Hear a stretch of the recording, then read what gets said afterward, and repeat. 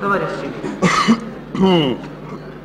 мы завершим первое отделение и начнем второе песнями Владимира Высоцкого. Володе Высоцкому 28. Песня называется «Жил я с матерью и батей». Песня о госпитале. Жил я с матерью и батей, на Арбате здесь бы так, А теперь я в медсанбате, на кровати весь в бинтах. Что нам слава, что нам клава, медсестра и белый свет. Помер мой сосед, что справа, тот, что слева, еще нет. И однажды, как в угаре, тот сосед, что слева мне, Вдруг сказал, послушай, парень, у тебя ноги-то нет. Как же так неправда, братцы? Он, наверное, пошутил. Мы отрежем только пальцы, так мне доктор говорил. Но сосед, который слева, все смеялся, все шутил. Даже если ночью бредил, все про ногу говорил. Издевался, мол, не встанешь, не увидишь, мол, жены. Поглядел бы ты, товарищ, на себя со стороны.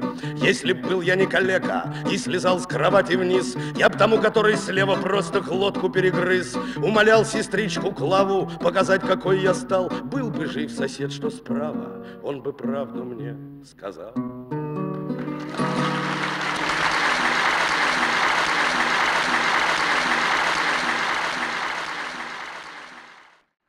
Еще одна песня из этого же фильма. Я в фильме так мы и предполагали. Я там играю танкиста, который горел в танке, и вроде он сам пишет эти песни. Так что, в общем, даже в образ вживаться не пришлось. Песня называется «Звезды». Мне этот бой не забыть ни почем. Смертью пропитан воздух, а с небосклона бесшумным дождем падали звезды, а с небосклона бесшумным дождем падали звезды.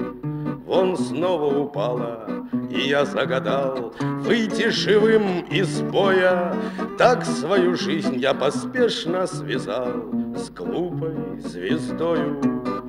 Так свою жизнь я поспешно связал с глупой звездою.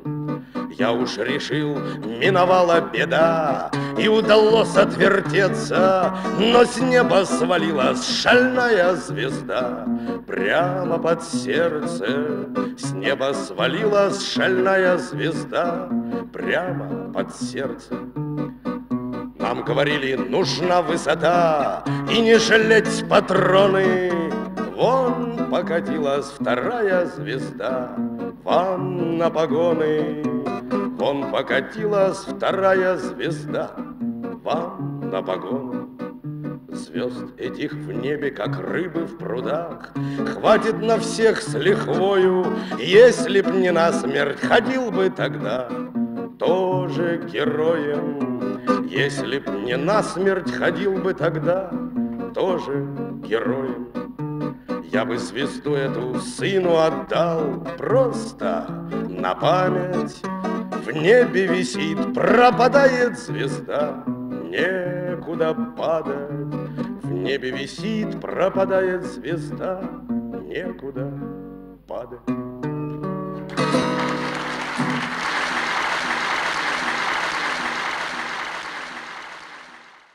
Так как все мы работаем циклами, то вот тоже несколько циклов. Цикличный такой сейчас у нас вечер. Вот первый цикл, я спою несколько студенческих песен. Вот. Не знаю, поют ли их студенты, но мне кажется, что это песни студенческие. Первая песня «Марш физиков» и потом э, песня студентов-археологов. Если есть такие, примите на вооружение. Тропы еще в антимир не протоптаны, но как на фронте держись ты, Бомбардируем мы ядра протонами, значит мы антиллеристы. Нам тайны не раскрытые раскрыть пора, Лежат на путь без пользы тайны, как в копилке. Мы тайны эти с корнем вырвем у ядра, На волю пустим джина из бутылки. Тесно сплотились коварные атомы, Ну-ка попробуй прорвись ты. Живо по коням в погоню за квантами, Значит, мы каванталеристы. Нам тайны не раскрытые раскрыть пора. Лежат без пользы тайны, как в копилке. Мы тайны эти с корнем вырвем у ядра, На волю пустим джина из бутылки. Пусть не поймаешь нейтрино за бороду И не посадишь в пробирку, Но было бы здорово, чтоб Пантекорова Взял его крепче за шкирку. Нам тайны не раскрытые раскрыть пора. Лежат без пользы тайны, как в копилке. Мы тайны эти с корнем вырвем у ядра, На волю пустим джина из бутылки. Жидкие, твердые, газообразные, Просто, понятно, вольготно. А с этой плазмой дойдешь до маразма И это довольно почетно. Нам тайны не раскрытые раскрыть пора. Лежат без пользы тайны, как в копилке. Мы тайны эти с корнем вырвем у ядра, На волю пустим джина из бутылки. Молодо, зелено, древность в историю, Тряхлость в архивах пылится. Даешь эту общую, эту теорию Элементарных частиц нам. Нам тайны не раскрытые раскрыть пора. Лежат без пользы тайны, как в копилке. Мы тайны эти с корнем вырвем у ядра, На волю пустим джина из бутылки.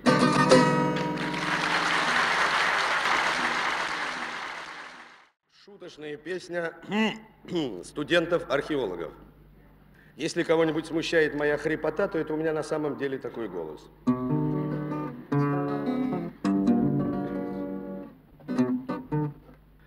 Наш Федя с детства связан был с землею.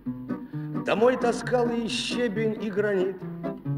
Однажды он принес домой такое, что папа с мамой плакали на взрыв. Студентом Федя очень был настроен. Поднять археологию на щит Он в институт притаскивал такое, Что мы кругом все плакали на взрыв. Привез он как-то с практики два ржавых экспонатика И утверждал, что это древний клад. Потом однажды в Элисте нашел вставные челюсти Размером с самогонный аппарат.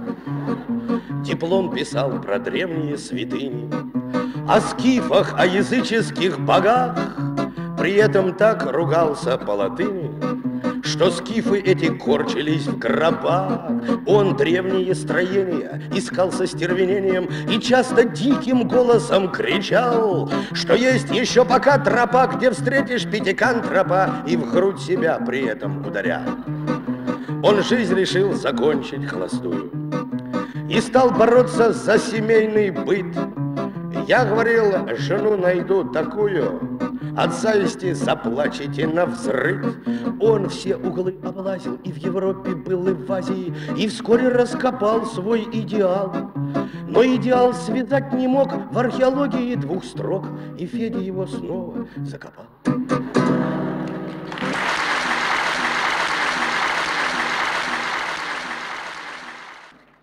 Он стал боксером, и песня такая про сентиментального боксера. Удар, удар, еще удар, опять удар, и вот Борис Буткеев, Краснодар, проводит апперкот. Вот он прижал меня в углу, вот я едва ушел. Вот апперкот, я на полу, и мне нехорошо. И думал Буткеев, мне челюсть кроша, и жить хорошо, и жизнь хороша.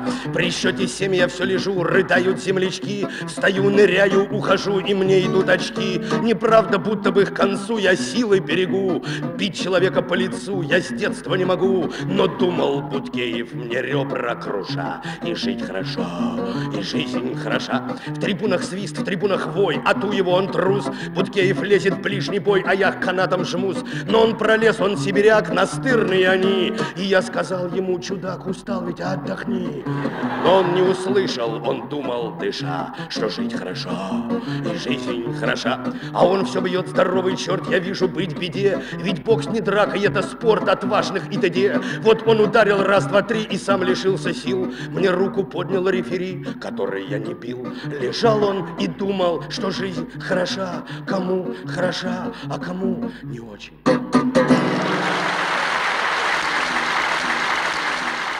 После перерыва продолжим снова.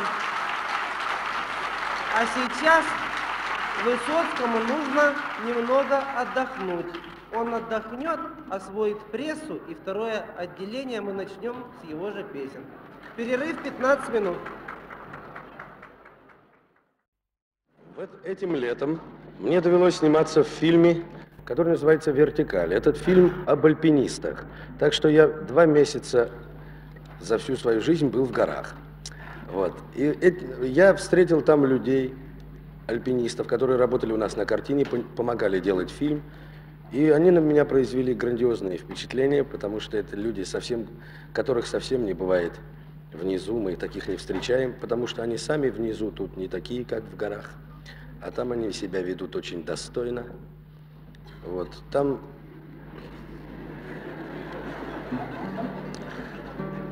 это действительно так, потому что там не на что надеяться, кроме себя, своих друзей, больше никого. Я написал для этого фи фильма несколько песен. Несколько из них я спою. Песня о друге.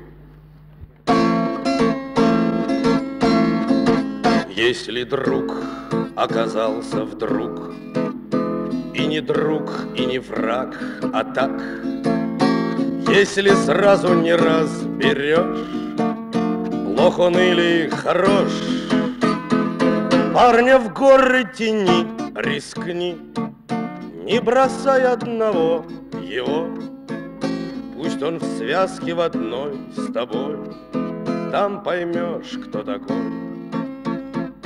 Если парень в горах не ах, Если сразу раскис и вниз, Шаг ступил на ледник и сник, Оступился и в крик — Значит, рядом с тобой чужой, Ты его не брони, гони. Вверх таких не берут и тут Про таких не поют. Если он не скулил, не ныл, Пусть он хмур был и зол, но шел. А когда ты упал со скал, Он стонал, но держал если шел он с тобой, как в бой, На вершине стоял хмельной, Значит, как на себя самого Положись на него.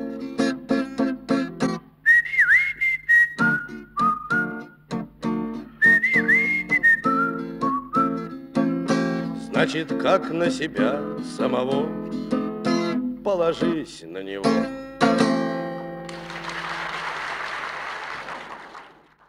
как альпинизм, это довольно жестокая профессия. Я не считаю это спортом. А если это и спорт, то соревнования в нем совершенно ни к чему, они ни к чему хорошему не приводят. Просто нужно... Это, это занятие совсем для другого. Не для того, чтобы устанавливать рекорды, мне кажется. Это просто, наверное, для того, чтобы утверждать себя. Вот я пытался это все выразить в песнях и так далее. На моих глазах было очень много трагичных случаев там не очень много, но во всяком случае были случаи трагичные. Я повторяю, что это очень жестокая профессия. Я попытался это выразить в песне, которая называется «Вершина». Здесь вам не равнина, здесь климат иной, И тут лавины одна за одной, И здесь за камнепадом ревет камнепад. И можно свернуть, обрыв обогнуть, Но мы выбираем трудный путь, Опасный, как военная тропа. И можно свернуть, обрыв обогнуть, но мы выбираем трудный путь, опасный, как военная тропа. Кто здесь не бывал, кто не рисковал, тот сам себя не испытал. Пусть даже внизу он звезды хватал с небес. Внизу не встретишь, как не тянись, за всю свою счастливую жизнь Десятой доли таких красот и чудес. Внизу не встретишь, как не тянись, за всю свою счастливую жизнь Десятой доли таких красот и чудес. Нет алых роз и траурных лент, И не похож на монумент Тот камень, что покой тебе подарил. Как вечным огнем сверкает днем Вершина изумрудным льдом, Которую ты так и не покорил. Как вечным огнем сверкает днем Вершина изумрудным льдом, Которую ты так и не покорил. И пусть говорят, да пусть говорят, но нет, никто не гибнет зря так лучше, чем от водки и от простуд.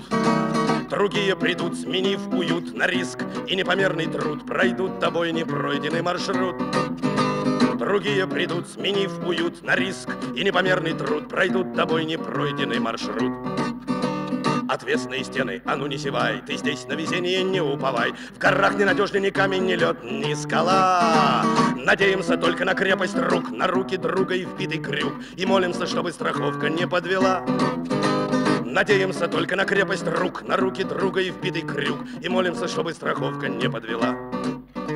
Мы рубим ступени, ни шагу назад, и от напряжения колени дрожат, и сердце готово к вершине бежать из груди. Весь мир на ладони, ты счастлив и нем, и только немного завидуешь тем другим, у которых вершина еще впереди. Весь мир на ладони, ты счастлив и нем, и только немного завидуешь тем другим, у которых вершина еще впереди.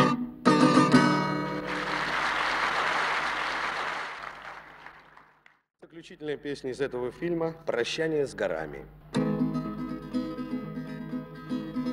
В суету городов и в потоке машин.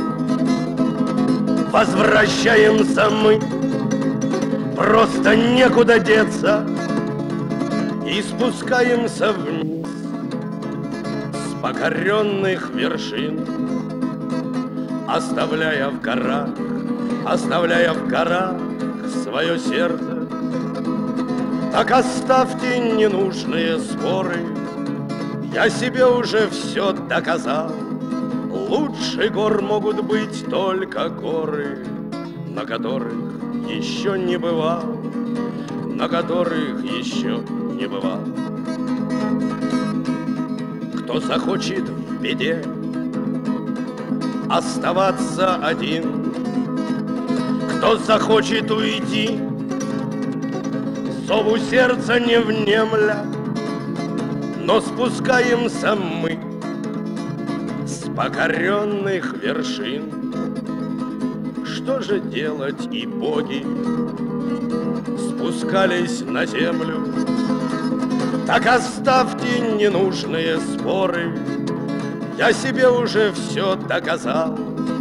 Лучше гор могут быть только горы, на которых еще не бывал, на которых еще не бывал сколько слов и надежд, сколько песен и тем. Горы будут у нас и зовут нас остаться, но спускаемся мы, кто на год, кто совсем. Потому что всегда, потому что всегда мы должны возвращаться так оставьте ненужные споры, Я себе уже все доказал. Лучше гор могут быть только горы, На которых никто не бывал, На которых никто не бывал.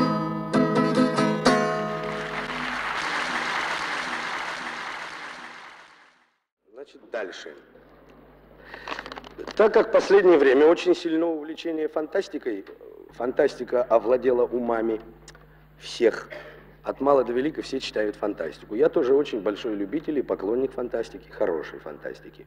И кроме этого я читаю еще научно-популярную литературу, которую для совершенно неинтеллигентных людей издают.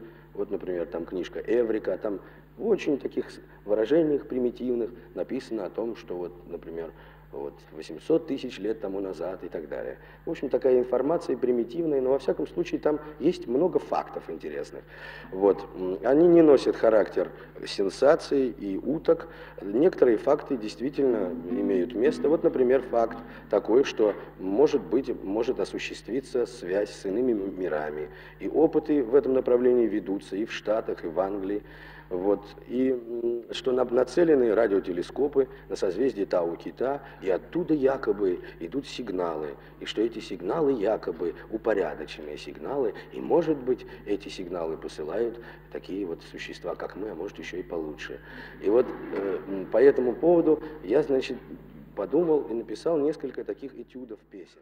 Первая песня, песня, навеянная чтением, конечно, западной фантастики, песня космических негодяев.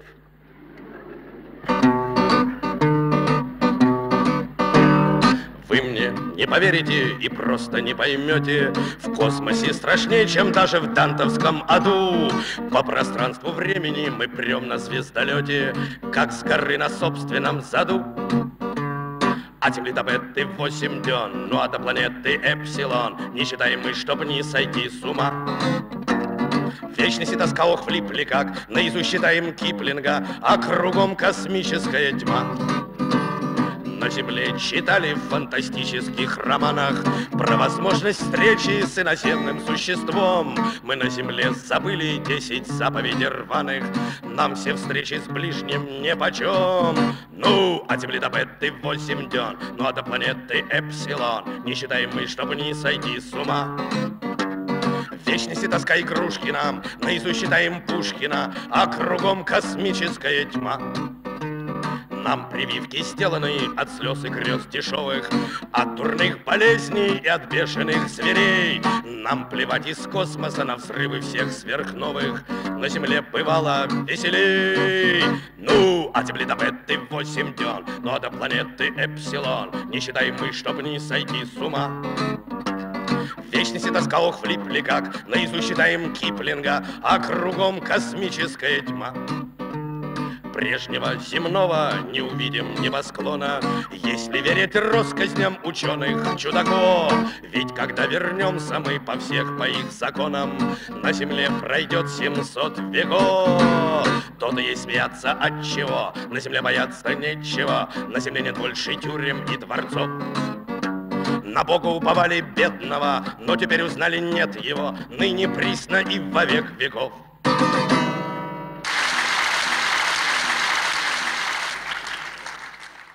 Наконец, шуточная песня, которая называется «В далеком созвездии Тау-Кита». Это как раз вот там, откуда эти сигналы и раздаются. Далеком созвездии Тау-Кита Все стало для нас непонятно. Сигнал посылаем, вы что это там? А нас посылают обратно. На Тау-Ките живут в роду. Сейчас я вам спою несколько сказок. Первая сказка – сказка про дом на Арбате, который сломали. Музыка Таривердиева, композитора, мой текст.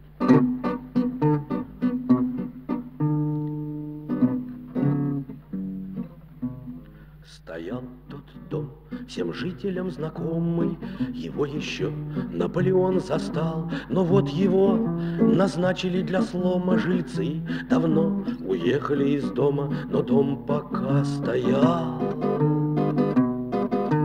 Холодно, холодно, холодно в доме. Давно не открывалась. Мальчишки окна выбили уже, и штукатурка всюду осыпалась. Но что-то в этом доме оставалось на третьем этаже. Ахала, охала, ухала в доме. дети часто жаловались маме И обходили дом тот стороной, объединяясь соседними дворами Вооружаясь лопатами, ломами, вошли туда гурьбой Дворники, дворники, дворники, тихо! Они стоят и недоумевают, назад спешат, боязни не тая, вдруг там Наполеонов дух витает, а может это просто слуховая галлюцинация. Боязно, боязно, боязно дворникам. Но, наконец, Приказ о доме вышел, и вот рабочий, тот, что дом ломал, ударил смаху гирею по крыше, а после клялся, будто бы услышал, как кто-то застонал. Жалобно, жалобно, жалобно в доме от страха дети больше не трясутся, нет дома что. Два века простоял, и скоро здесь по плану реконструкции ввысь этажей десятки вознесутся, бетон, стекло, металл. Весело, здорово, красочно будет.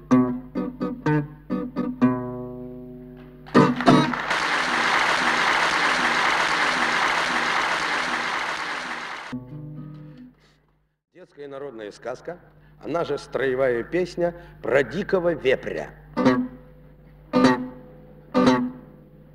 В королевстве, где все тихо и складно, Где не войник, клизмов не бурь, Появился дикий вепря громадный, То ли буйвол, то ли бык, то ли тур.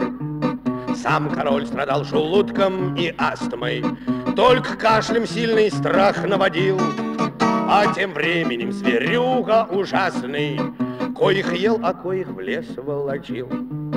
И король тотчас издал три декрета, Зверь надо, говорить, одолеть наконец. Вот кто отчается на это, на это, Тот принцессу поведет под венец а в отчаявшемся том государстве, как войдешь так прямо наискосок, а в бесшабашной жил тоске и хусарстве, бывший лучший, но опальный стрелок. На полу лежали люди и шкуры, пели песни, пили меды, и тут протрубили во дворе трубадуры. Хвать стрелка, и во дворец волокут. И король ему прокашлял, не буду, я читать тебе морали, юнец. Вот если завтра победишь чудо-юду, то принцессу поведешь под венец. А стрелок, да это что за награда? Мне бы выкатить портвейну подью, Мол, принцессу мне и даром не надо, Чудо-юду я и так победю. А король, возьмешь принцессу и точка, А не то тебе раз-два и в тюрьму. Ведь это все же королевская дочка, А стрелок, ну хоть убей, не возьму. И пока король с ним так припирался, Съел уже почти всех женщин и кур, И возле самого дворца ошавался, И этот самый то ли бык, то ли тур. Делать нечего, портвей он отспорил, Чуду-юду уложил и убег. Вот так принцессу с королем опозорил, Бывший лучший, но опальный стрелок. Я сейчас спою две песни, которые, в общем, одну, вернее, которая ко мне не имеет отношения, вернее, небольшое отношение, а вторую собственную. Дело в том, что у меня есть такой друг Игорь Кахановский, поэт, который сейчас уехал в Магадан из Москвы. Он инженер, но он поехал не по профессии, он журналистом сейчас работает, и он еще поэт. Его стихи изданы э, там в Магадане, и здесь в Дне поэзии его стихотворение, которое называется «Бюро обмена». А он автор песни «Бабье лето». Э, эту песню мы сделали с ним вместе, он, вернее, сделал текст, я только музыку придумал к ней. Первый вариант, не то, что поет Шульженко по радио. Мне кажется, что та мелодия хуже. Хотя это делал профессиональный композитор. Не потому, что я сделал мелодию, а просто для этой песни нужна была, наверное, все-таки такая, которую пели мы, и которую поют все, наверное, вот здесь сидящие, если где-нибудь в компании. Я спою песню «Бабье лето», а после этого спою песню, посвященную Игорю Кахановскому, который уехал в Магадан. Но он, правда, вернулся, сейчас это опять поедет. Клены выкрасили город колдовским каким-то цветом. Это скоро, это скоро, бабье лето, бабье лето. Это скоро, это скоро, Бабе лето, что так быстро тают листья, Ничего мне не понятно, а я ловлю, как эти листья, Наши даты, наши даты, я ловлю, как эти листья, Наши даты, наши даты, а я кружу на прополую, Самой ветреной из женщин, а я давно искал такую, и не больше, и не меньше. Я давно искал такую, и не больше, и не меньше. Только вот ругает мама, что меня ночами нету, что я слишком часто пьяный, бабьим летом, бабьим летом, что я слишком часто пьяный, бабьим летом, бабьим летом. А я забыл, когда был дома, Спутал ночи и рассветы. Это омут, ох, это омут, Бабье лето, бабье лето, это омут, это омут, бабье лето, бабье лето.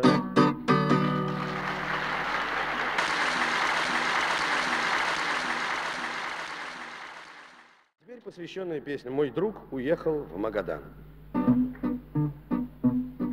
Она специально сделана, стилизована под так называемый блатной фольклор, потому что Магадан все столица Колымского края. Мой друг поехал в Магадан, Снимите шляпу, снимите шляпу. Уехал сам, уехал сам, Не по этапу, не по этапу, Не то, чтоб другу не везло, Не чтоб кому-нибудь назло, Не для молвы, что молчу, да, А просто так, а просто так. Я знаю, кто-то скажет зря, как так решиться, всего лишиться, Ведь там сплошные лагеря, а в них убийцы, а в них убийцы. Ответит он, не верь молве, их там не больше, чем в Москве. Потом уложит чемодан и в Магадан, и в Магадан. Не то, чтоб мне не по годам, я прыгнул ночью из электрички, но я не еду в Магадан, забыв привычки, закрыв кавычки. Я буду петь под струнный звон про то, что будет видеть он, про то, что в жизни не видал, про Магадан про Магадан. Мой друг поехал сам с собой, с него довольно, его довольно, его не будет бить конвой, он добровольно, он добровольно, а мне удел от Бога дан. А может тоже в Магадан уехать с другом заодно и лечь на дно. Лечь на дно – это выражение, как чтобы никто тебя не слышал. Вот такое это из фольклора.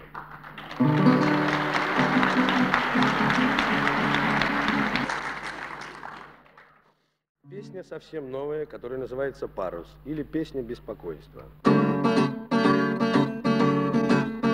А у дельфина Срезано брюхо винтом, выстрела в спину Не ожидает никто на батарее Нету снарядов уже, надо быстрее на вираже. Но парус, порвали парус.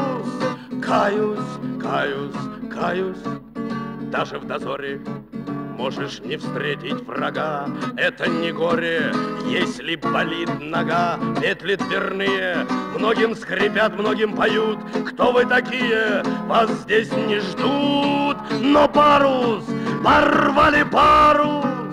Каюсь, каюсь, каюсь, многие лета тем, кто поет по сне. Все части света могут лежать на дне, все континенты могут гореть в огне. Только все это не по мне, но парус, порвали парус. Каюсь, каюсь, каюсь.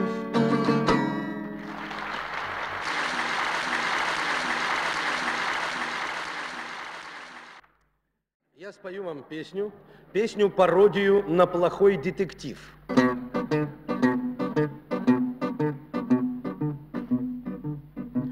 Опасаюсь контрразведки, избегая жизни светской. Под английским псевдонимом мистер Джон Ланкастер Пек, вечно в кожаных перчатках, чтоб не делать отпечатков, жил в гостинице советской, не советский человек.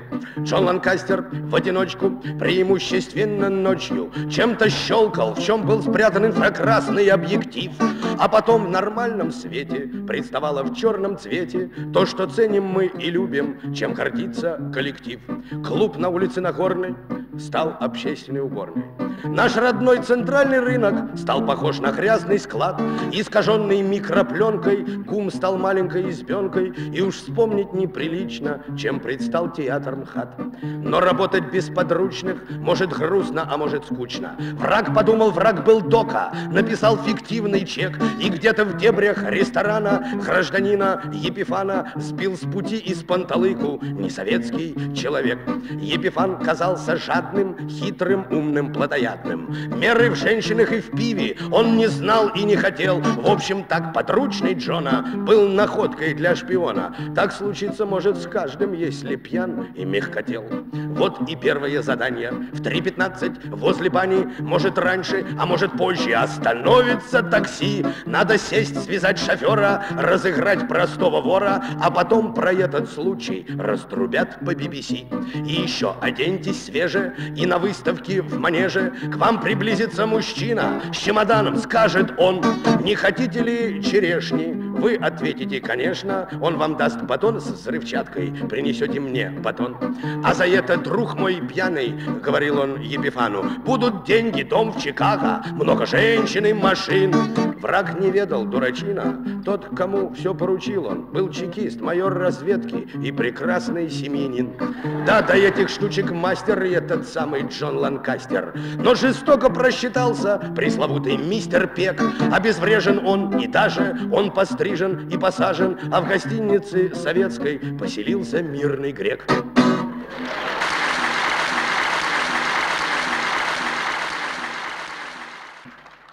И, наконец, я говорю, наконец, вполне серьезно и очень прошу вас, чтобы это был действительно наконец, потому что мне через полтора часа уже уезжать. Я приехал сегодня только на один день. Завтра у меня утром репетиция, вечером сложный спектакль. Приехал, потому что давно обещал, и потому что знаю ленинградскую публику. Так что эта песня будет последняя. А песня называется «Солдаты группы «Центр», которая идет в спектакле «Павшие живые». Солдат всегда здоров, солдат на все готов, И пыль, как из ковров, мы выбиваем из дорог. И не остановиться, и не сменить ноги, Сияют наши лица, сверкают сапоги. По выжженной равнине за метром метр Идут по Украине солдаты группы «Центр» На первый, второй, рассчитайся, первый, второй. Первый шаг вперед и в рай, первый, второй, А каждый второй тоже герой в рай попадет вслед за тобой. Первый, второй, первый, второй, первый, второй. А перед нами все цветет, за нами все горит. Не надо думать, с нами тот, кто все за нас решит. Веселые, не хмурые, вернемся по домам. Невесты белокурые наградой будут нам. Все впереди, а ныне за метром метр идут по Украине солдаты группы «Центр». На первый, второй, рассчитайся, первый, второй. Первый шаг вперед и в рай, первый, второй, а каждый второй тоже герой в рай попадет. След за тобой, первый, второй, первый, второй, первый, второй.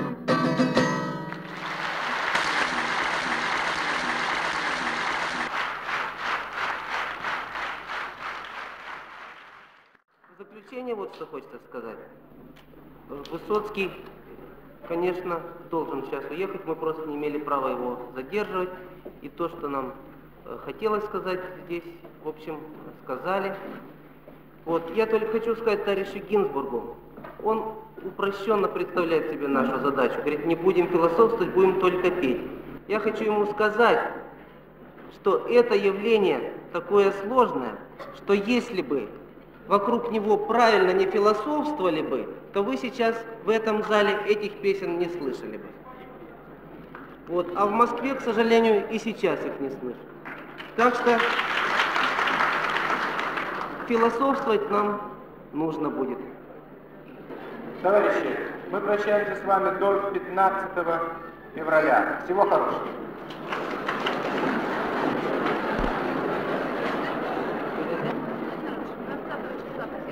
26 января в 20 часов состоится вечер поэтов-геологов. Билеты в клубе. Повторяю. Повторяю. 26 января Нет, это старый. в 20 Это часов состоится вечер поэтов-геологов. Билеты в клубе